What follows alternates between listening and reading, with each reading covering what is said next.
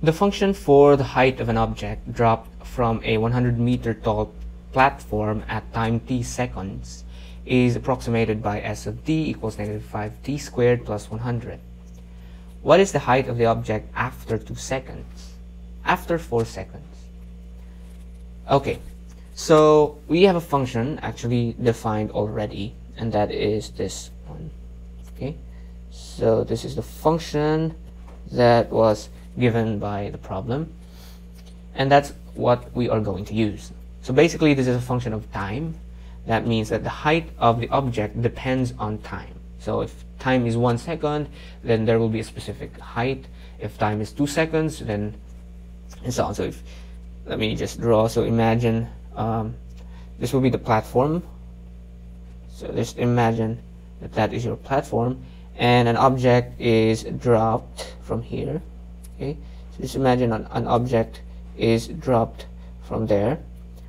So this will be your trajectory. So after one second the the object might be here. After two seconds it might be here. And after three it might already be on the ground.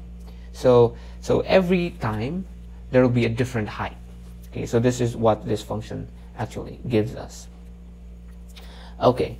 So the question is, what is the height of the object after two seconds? So what you're going to do is, yeah, let's let's let's write the function. So the function is s of t equals minus 5t squared plus 100.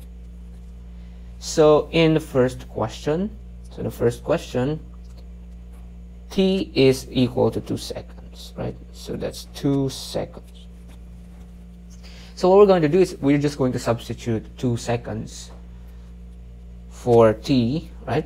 So that will be s of 2, right? s of 2 seconds is equal to negative, I'm just going to use, I'm, I'm going to color code this one. So that will be s of, s of 2, right? So s of 2 seconds is equal to minus 5 times, and wherever t appears, you're going to put 2 in there right? So a t appeared here. You're gonna change that. Let's make that 2 and then you square that because you have a squared okay? So negative 5 times 2 squared plus 100 and then simplify.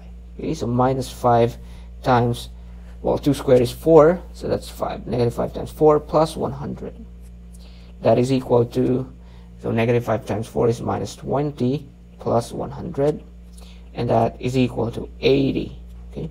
So 80 meters if you will okay? So that will be s of 2 so that will be s of 2 okay? Now for number 2 for number 2 okay?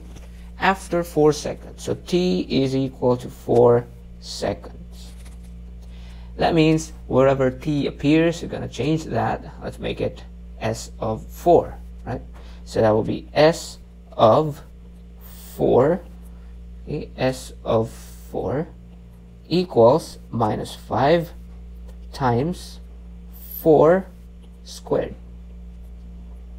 plus 100 and that gives us minus 5 4 squared is 16 plus 100.